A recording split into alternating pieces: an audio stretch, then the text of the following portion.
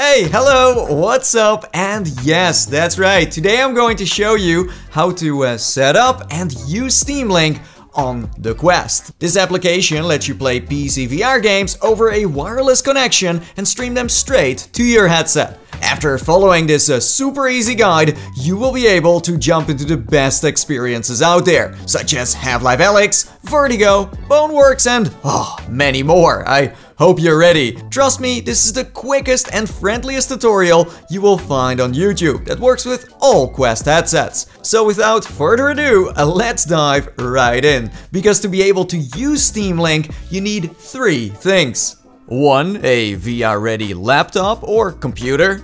2. A decent router, and 3. A Quest headset. The computer or laptop you are planning to use needs to be fast enough to power PC VR games. To figure out if it is actually VR ready, you can check Valve's official support page, which not only shows the recommended, but also minimum requirements needed to run Steam Link. On top of that, it also gives you a few handy tips on the do's and don'ts of this new Link software. You can find the page in the video's description. That said, for most, a regular router will do the trick, but if you happen to own a gaming one, then that's of course a bonus. Either way, make sure it's directly hooked up to your computer or laptop via a ethernet cable, to ensure maximum performance while playing the best of the best VR content. A big no-no is definitely using Wi-Fi mesh systems, because these can really screw up your overall VR experience, causing lots of instability and so much more. It's totally up to you, but I do you want to make sure you're aware of the risks. Last, you need a Quest headset that uses the same Wi-Fi address as your PC or laptop and has the latest firmware installed.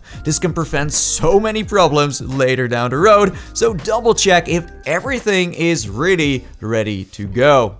So with that out of the way, let's move on to setting up Steam Link, shall we? First of all, what you want to do is open your favorite browser to download Steam, which you'll need to run PC VR games. There's a link down below that will take you straight to the official website where you can download it. The install process shouldn't take too long, but make sure you have enough free space for the best possible outcome. And you also need to log in. I recommend scanning the QR code with the Steam mobile app for the quickest way in. Thank me later. Once arrived in the Steam store, go to the search bar and look for Steam VR. This program doesn't cost you anything and will assist you in streaming the most amazing VR games to your headset. But Hey, more on that later. After you finish downloading it, it's time to grab your Quest and boot it on. When it's booted, hit up the official store and start searching for Steam Link. Let's say you can't find it, don't worry, I got you. I added a link to the description as well that will instantly take you to the app.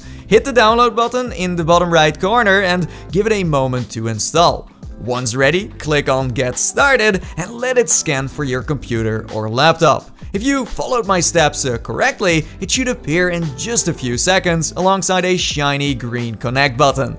Activate it and don't forget to allow all permissions. This is so important. It will then give you a 4-digit code that you have to fill in on desktop. So use the headset's pass-through or take it off to type in your personal catchphrase on Steam and click on confirm.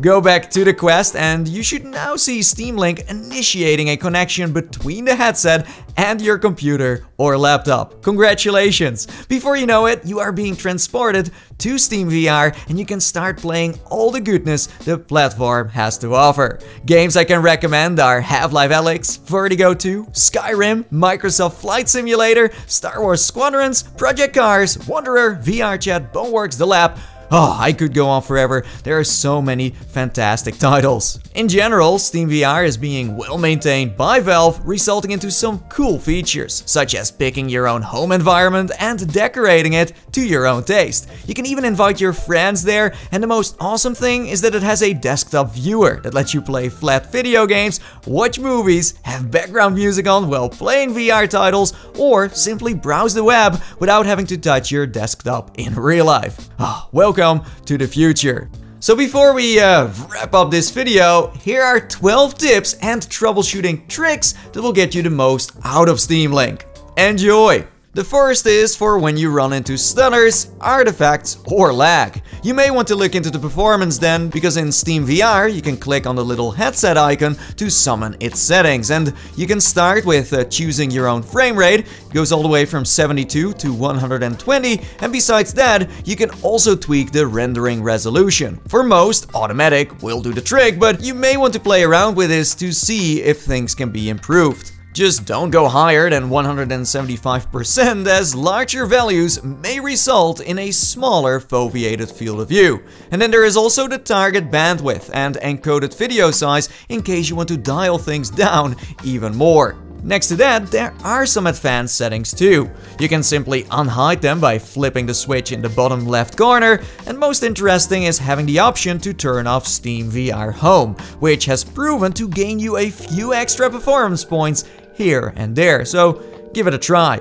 A common issue that I myself have ran into multiple times is not having any audio. Ah, it's so annoying. This is something that can easily be fixed through the sound control panel in Windows. First, go to Playback and enable the Steam streaming speakers. And in the Recording tab, find the microphone and make that your main source. Restart Steam Link and your audio problems should be gone. Let's say you are mostly diving into high-intensity experiences, chances are you've already hit something out of excitement, and I don't blame you. Next to wearing uh, wrist straps, it's also smart to have a reminder of where you are in your play space. Staying centered is key to keeping your TV, furniture, friends, and pets alive. I would recommend looking into a yoga or floor mat like you have in the bathroom. Or, what I'm using, a proxy mat, made specifically for intense VR sessions. So handy.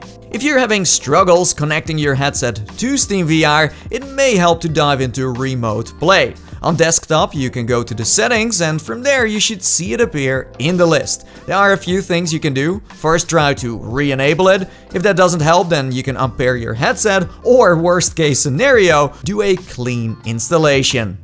Oh yes, this might sound ridiculous, but there have been folks out there who found spiders in their headsets, with the most famous example being YouTuber Markiplier. As long as you don't live in City 17, I don't think you have to worry you're going to find one that will eat out your eyeballs, but I would still check every dark corner before putting it on. The next may sound like the most obvious tip ever, but keeping your graphics card, Quest and PC software up to date is super important to get the most out of Steam Link. So always check if everything is on the latest latest firmware. This is so important.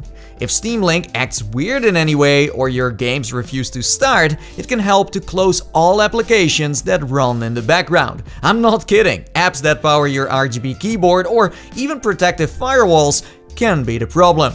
Also, I found out that the quickest way to travel back to the main quest menu is by double tapping the side of the headset. This streamlines the overall use of Steam Link tremendously. Next to a wireless method, you also have the option to go fully wired. Personally, Steam Link has worked fine throughout the last few weeks I tested it, but for some, wired can give a much more stable play session. You can use Meta's fiber cable made specifically for PC VR gaming, or go for a third-party option. I will add my recommendations to the description, including cables that are USB-C to A.